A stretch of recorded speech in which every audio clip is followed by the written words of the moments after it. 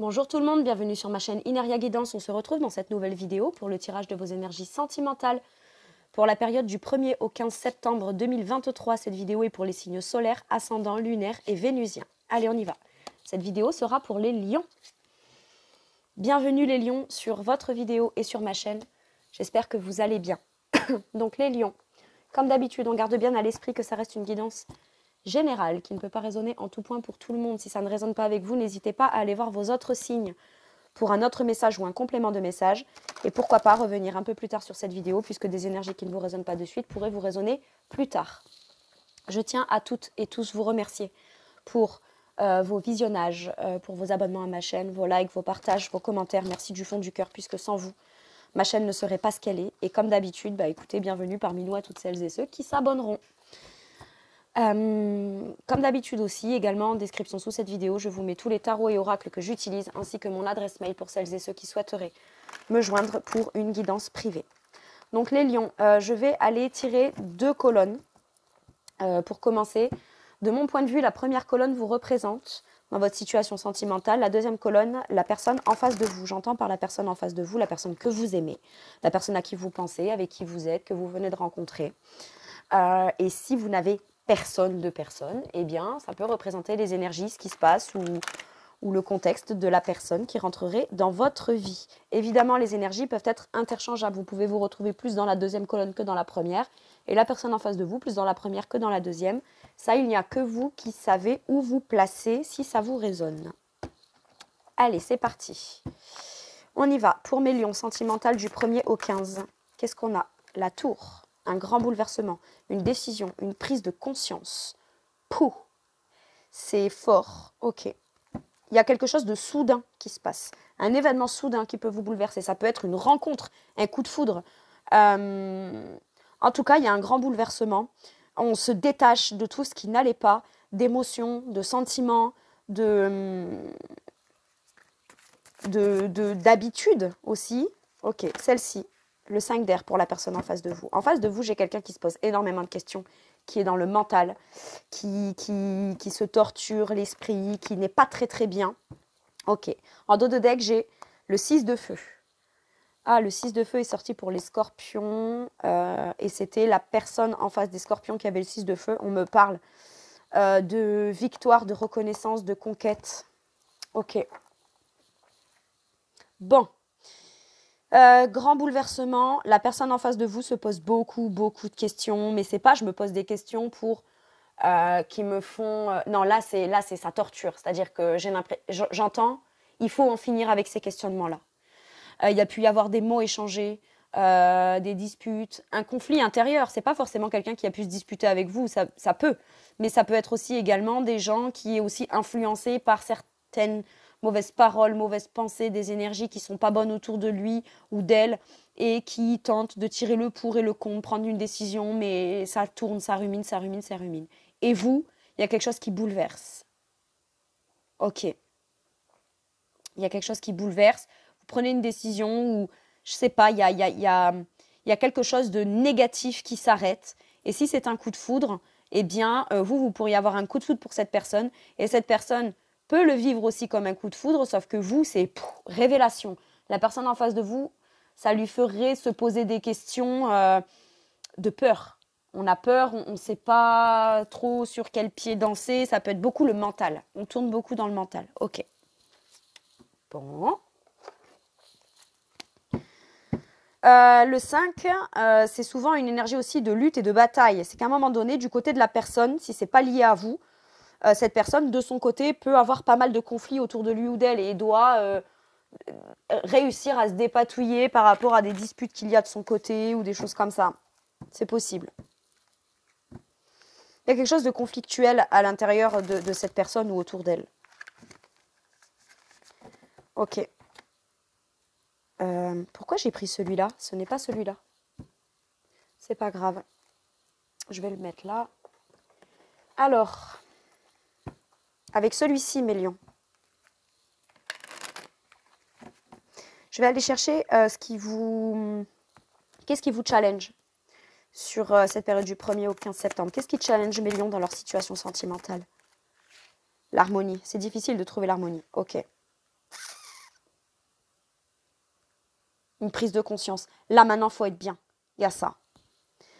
Euh, vous pourriez avoir un coup de foudre pour cette personne si vous ne le ou la connaissez pas, ou tout du moins il y a quelque chose qui vous chamboule, qui vous perturbe, une décision, une prise de conscience soudaine euh, liée à votre harmonie, à votre bien-être. Qu'est-ce qu'il faut faire pour se sentir bien? Qu'est-ce qu'il faut dire? Qu'est-ce qu'il faut arrêter? Qu'est-ce qu'il faut penser? Qu'est-ce qu'il faut mettre en place? J'ai ça. Le challenge de la personne en face de vous. La soumission. Le challenge de cette personne, ça doit être de devoir se libérer de personnes autour de lui qui veulent l'emprisonner, euh, une prison mentale, hein, tout simplement. Ça peut être juste cette personne qui a des problèmes euh, juste de lui-même vis-à-vis de lui-même ou d'elle-même, d'accord? Euh, Cette personne n'a qu'à se tourner pour se rendre compte que la porte est ouverte et qu'on peut se libérer, qu'on peut s'envoler et qu'on peut aller vers ses désirs avec la douce. J'ai un blocage avec l'énergie du pendu, une conscientisation. Prendre conscience qu'à un moment donné, cette personne se sent peut-être aussi inférieure, pas à votre hauteur. Euh, cette personne vous a peut-être fait des choses qui aujourd'hui le torturent dans son esprit.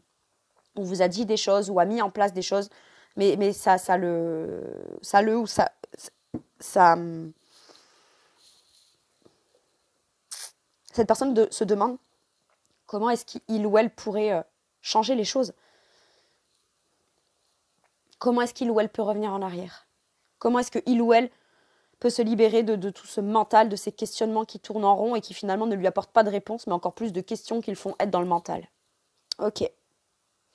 Et vous, euh, visiblement, vous travaillez très très très fort à votre harmonie. C'est comme si là, on vous dit, quelle que soit votre situation, euh, tu te dois d'être bien avec toi-même. Tu te dois de prendre des décisions bonnes pour toi-même.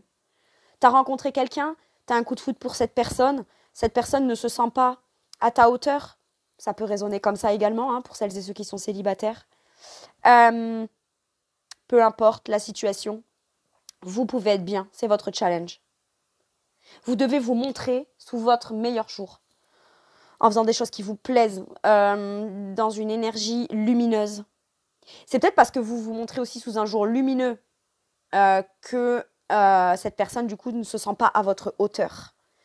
En tout cas, j'ai quelqu'un là qui est comme. qui se sent comme attaché à une situation euh, ou attaché à des peurs, attaché à un passé, attaché à des gens autour qui font que euh, c'est compliqué pour lui ou pour elle de se libérer. Et en plus, bah, visiblement, l'énergie, vous, vous êtes cash en face. Vous êtes cash, vous savez ce que vous voulez, vous êtes, euh, êtes carré, vous prenez des décisions pour vous. Et le fait de vous battre, quoi qu'il arrive, pour l'harmonie, même si vous n'avez pas encore atteint ce sentiment d'harmonie. Euh, le simple fait d'être clair sur le sujet de moi, c'est mon bien-être qui passe en premier, ben ça, ça, ça fait que cette personne, elle se dit encore plus, waouh, est-ce que du coup, je... J'ai l'impression que cette personne a peur de venir vous déranger. On n'a pas l'impression de venir avec euh, des énergies suffisamment positives pour vous. Ok. Votre atout, mes lions. Les principes ben voilà, c'est vous d'abord. Vous avez des engagements, des promesses que vous vous êtes fait à vous-même, vous avez des valeurs, des principes, vous êtes loyal, vous êtes fidèle, vous êtes engagé avant tout vis-à-vis de vous-même.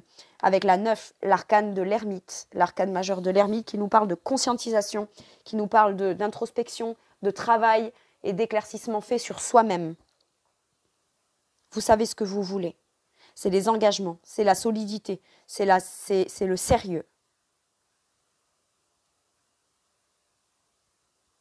En même temps, c'est aussi guidé et c'est divin. D'accord? Avec l'énergie du. Là, moi, je vois une toche de pape, vous voyez? Avec euh, l'oiseau. Euh, pour moi, c'est guidé. C'est guidé par, euh, par l'univers, par les guides, les anges, Dieu. Je ne connais pas vos croyances et, et peu importe. mais c'est réellement guidé.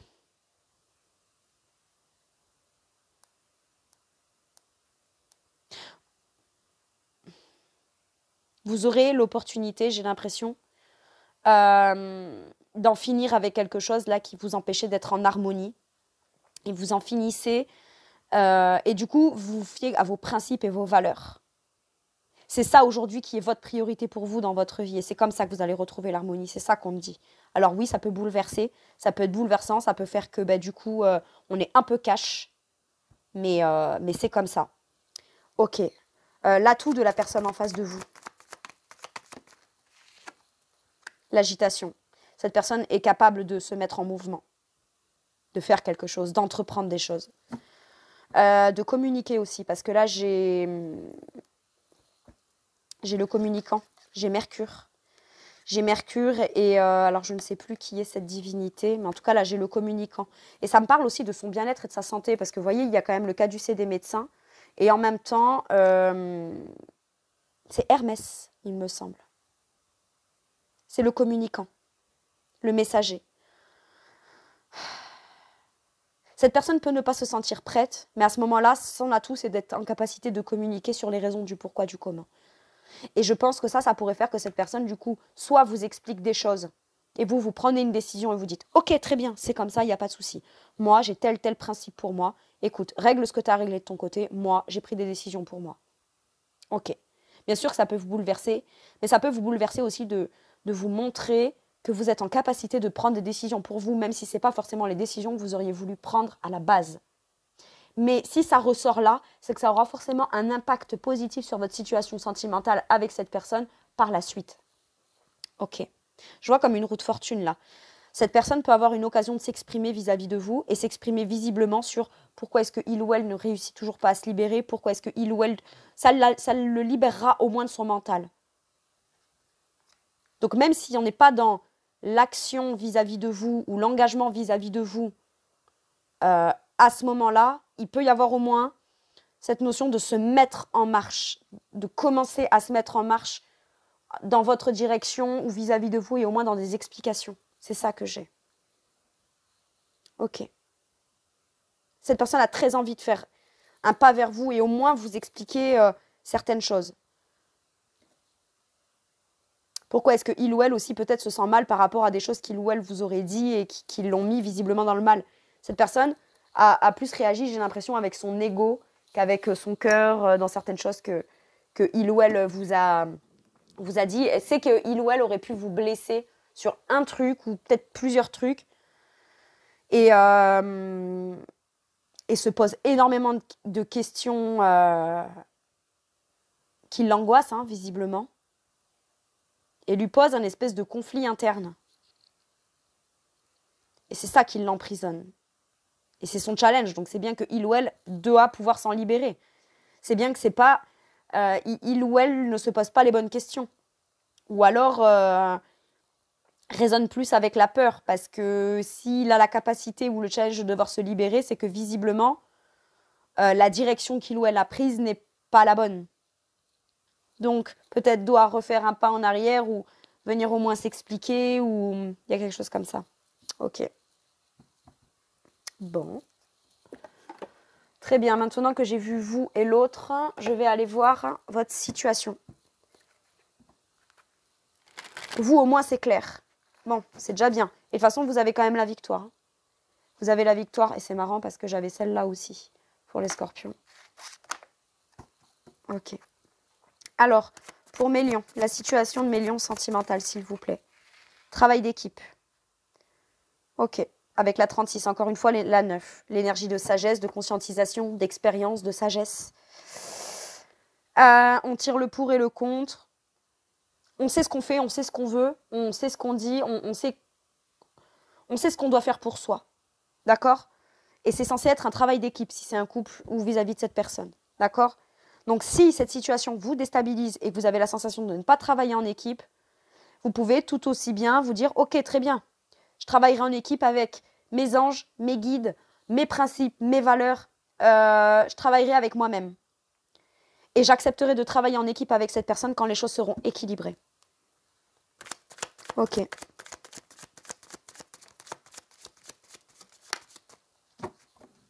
Vous pouvez aussi vous poser la question, est-ce que tout le cheminement que j'ai fait, les prises de conscience que j'ai, les décisions que je suis en capacité de prendre pour moi, est-ce que c'est dû à lui ou elle et moi ou notre relation, ou est-ce que tout ce travail vient uniquement de moi? J'ai ça. Il y a du changement. Avec la 21, le monde, l'ouverture, la complétude. J'ai une fin de cycle là. J'ai une fin de cycle, une espèce de complétude. On arrive au bout d'un chapitre pour en écrire un nouveau. Il y a du changement. Il y a du changement dans l'air. Vous, vous changez vous amenez un changement, vous apportez un changement. conscient ou inconscient.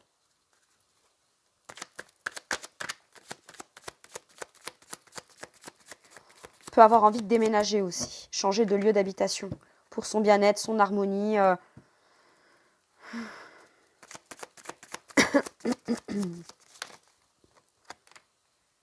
peur de l'engagement. Oui, cette, cette personne a peur de s'engager vis-à-vis de vous.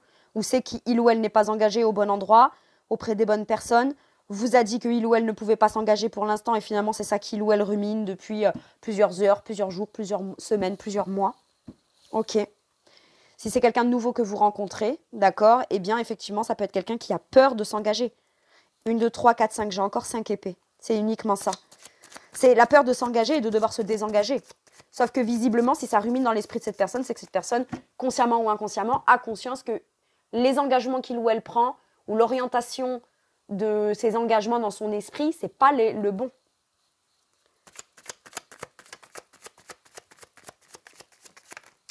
Le contrôle mental. Et oui, ça rumine, ça rumine, ça rumine. Mais en même temps, j'ai quand même des révélations avec la 20, euh, l'énergie du jugement. Donc, euh, j'ai envie de dire, sur la carte du jugement, en fait, il y a un ange qui sonne une trompette et il y a des morts qui sortent de leur tombe. Donc ça veut dire qu'en fait, on se libère de l'ancien pour renaître quelque part et être beaucoup plus authentique et plus fidèle à soi-même. Il y a des révélations importantes euh, qui font qu'on ne rumine plus. Mais j'ai bien cette notion de contrôle mental. Sauf que quand on est dans une situation où on a pris une décision, où on a dit des choses, mais qu'on n'assume pas finalement parce qu'on se rend compte qu'on devrait peut-être faire un pas en arrière ou recommuniquer ou s'excuser ou reparler de certaines choses ou, euh, ou s'exprimer authentiquement en disant bah voilà écoute j'ai réagi comme ça parce que j'ai juste peur de m'engager, j'ai des peurs, j'ai ci, j'ai là. Mais au moins c'est honnête, c'est authentique. D'accord? C'est-à-dire que ça fera peut-être pas avancer les choses dans le concret, mais au moins on sait pourquoi, on sait à quoi s'en tenir. Et j'ai envie de dire, c'est pas à vous de payer les pots cassés de ce qui se passe de négatif du côté de cette personne. J'ai ça là à vous dire. Ok. J'ai quelqu'un là qui vous observe à distance, qui vous regarde sur les réseaux ou qui, qui, qui, vous aime mais qui ne le dit pas, qui ne l'exprime pas, qui vous aime en secret, qui. Et qui. Vous voyez, tous ces sentiments positifs qui pourraient faire avancer le truc, on se refuse à le dire. Parce que sinon, c'est déjà prendre un engagement. Alors qu'au final, bah, j'ai envie de dire, si c'est conflictuel avec quelqu'un, s'il y a eu des choses avec de l'ego, du mental et des peurs, bah, c'est que forcément, il y a forcément un aspect positif à ça.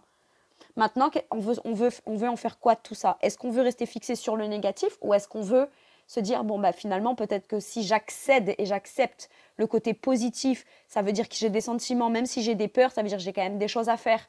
Et voilà, et ben du coup, euh, pourquoi pas tenter ce côté-là, vu que visiblement, l'aspect euh, par peur, je ne fais rien ou par peur, euh, ça se passe mal ou juste je rumine ou quoi, ben, visiblement, c'est pas ça qui met cette personne dans le bien. Au contraire, il, il, il, est plus soumis à son mental qu'à vouloir. Euh, il, se laisse plus guider ou elle se laisse plus guider par son mental et ses peurs que par ben, les sentiments qui se cachent derrière, pour vous visiblement. Ok. Et c'est un peu ça qui prend la place là. D'accord. Bon, avec celui-ci maintenant. Ça y est, c'est ton tour mon coco. C'est maintenant. Allez, je vais aller préciser les cartes. Sur le travail d'équipe, qu'est-ce que j'ai? Celle-ci. Roi de denier. Vous êtes propre, maître, responsable euh, au niveau de votre expérience, de votre bien-être, de ce qui se passe pour votre complétude personnelle. Euh, vous vous occupez de vos finances, de votre travail. C'est peut-être quelqu'un euh, que vous avez rencontré sur votre lieu de travail ou... En tout cas, ce qui est sûr, c'est que vous avez la situation en main. Vous vous occupez de votre argent, votre finance, vos biens matériels, votre concret dans votre vie, votre bien-être aussi, votre énergie concrète, palpable de tous les jours, ce qu'on fait dans le quotidien. Tous les jours, vous travaillez fort et vous maîtrisez. Euh, parce que le roi de denier, il a l'expérience, il a les connaissances, il a le sens pratique des choses, il sait faire euh, en fonction de ses principes, de ses valeurs, de ses engagements vis-à-vis de lui-même, de son foyer, de ses enfants, de sa famille, des gens autour de lui ou même de son ta propre complétude personnelle. D'accord? C'est le chef de sa vie, c'est le chef de son travail, c'est le chef de sa maison.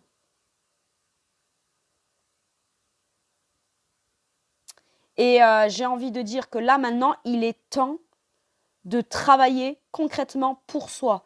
Et le but, il est de quoi? De trouver l'harmonie. Ok. Et ça, c'est quelque chose que vous réussissez à faire concrètement, mes lions. Ok. Sur le changement, qu'est-ce que j'ai? Sur le changement. Ok. Le chariot. L'avancée, la maîtrise, la victoire.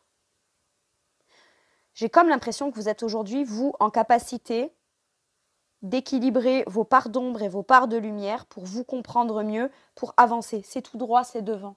Vous avez la victoire. Ça bouge, ça, avance. Ça, avance. ça peut vraiment effectivement parler d'un déménagement, hein, cette notion du chariot euh, et de, du changement. On peut avoir envie peut-être aussi, pourquoi pas, de s'acheter une maison.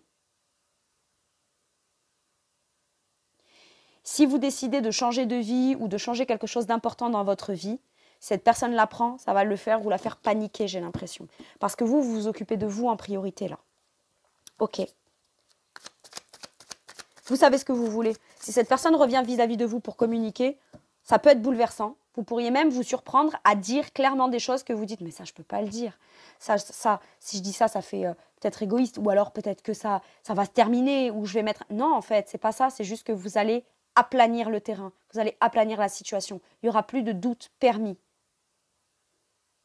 Donc si cette personne continue à se faire des nœuds dans la tête après ça, bah là pour le coup, bah ce sera vraiment pas votre problème parce que vous aurez été clair et net et tout ce qui aurait pu venir un peu entacher votre relation ou euh, vous, vous vous balayez, vous faites le ménage.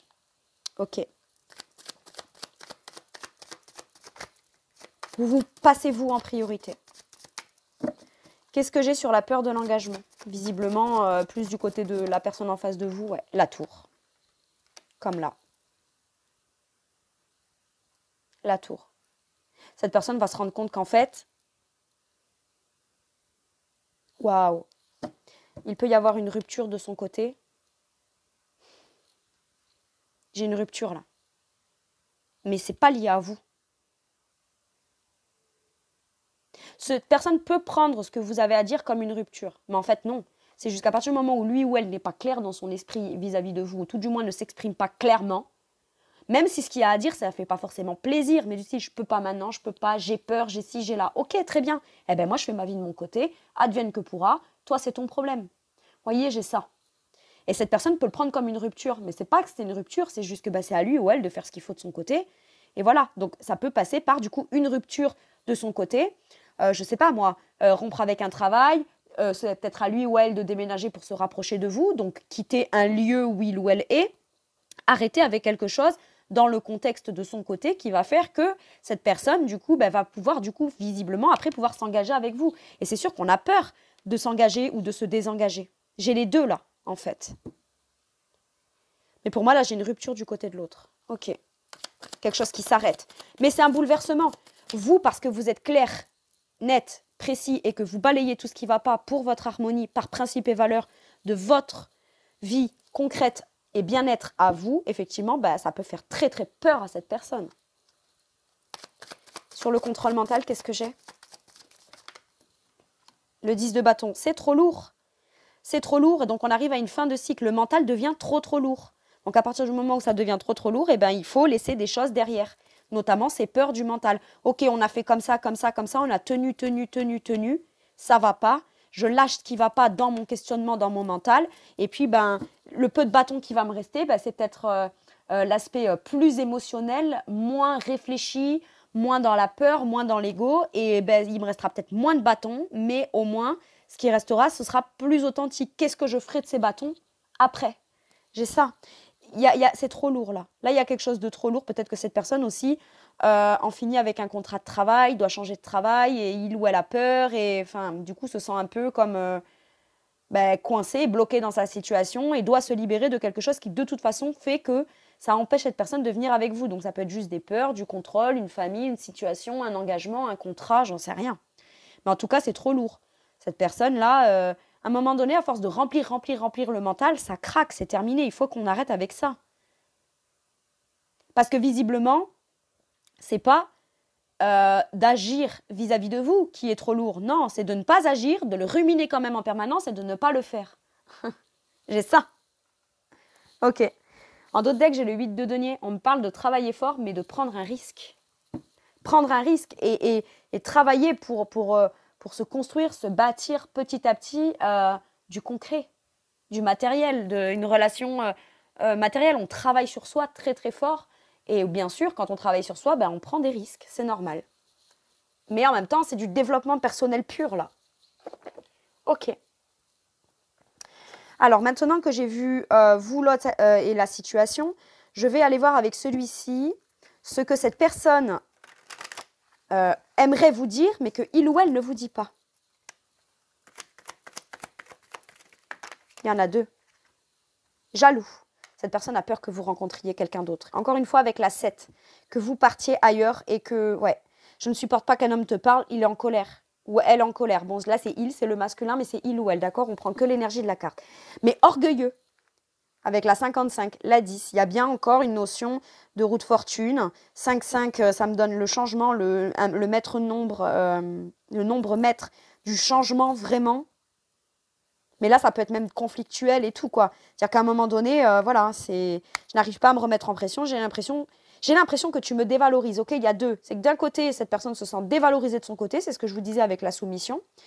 Euh, mais c'est pas vous qui dévalorisez cette personne. C'est cette personne qui ne se sent pas à votre hauteur. Et d'un autre côté, il ou elle peut avoir des gens qui lui font sentir qu'il ne sera jamais capable, que il ou elle euh, ne. Voyez ce que je veux dire? Mais c'est juste des peurs qu'a cette personne.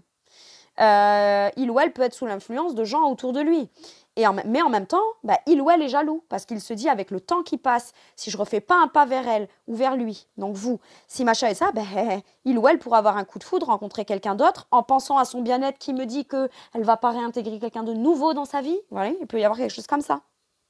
Donc là, bah, à un moment donné, il va falloir bouger et acter quoi.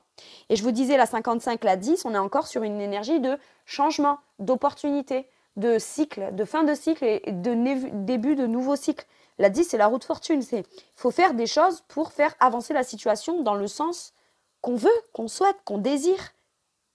Mais pour ça, il y a des choses à mettre en place et à faire. Il y a une notion de libre arbitre là. Et ensuite, si on réduit encore la 10, ça nous donne le 1, donc le magicien. Euh, et l'énergie bah, de je fais, j'entreprends, je, j'ai toutes les capacités, je crois en moi et je crois en nous et je, crois, je crois en ce que je peux faire. Ok. Bon. Je vais aller voir avec celui-ci, Mélion. Un petit message ou un petit conseil pour vous. Oh, j'ai ça, le miracle. Nos ailes de lumière t'enlacent ainsi que ceux que tu aimes. La situation actuelle est protégée par des forces supérieures.